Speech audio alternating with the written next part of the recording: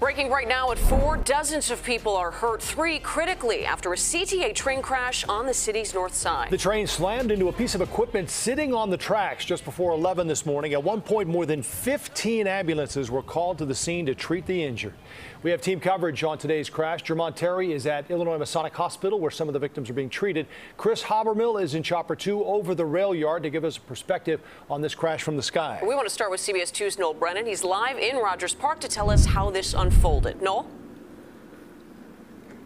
Marie, 31 people were on board that train, and every single one of them was injured. We still have several unanswered questions from the CTA as people recover from a morning commute they're not going to forget.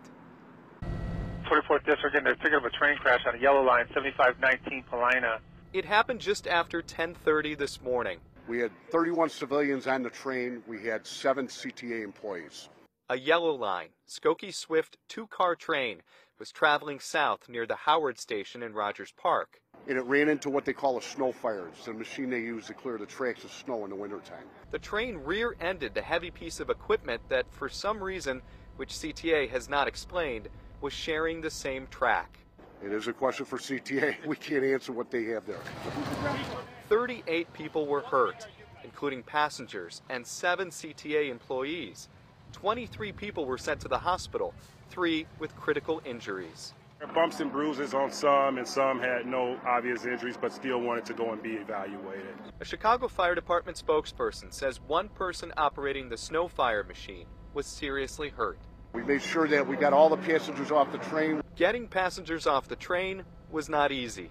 I'll tell you what, it was a very uh, hard thing to do for the firemen because they had to go up and down these embankments carrying people on the rocks. Some were carried away on stretchers off the train that never made it to its destination. We got them all out. Guys did a great job, I tell you, they really did.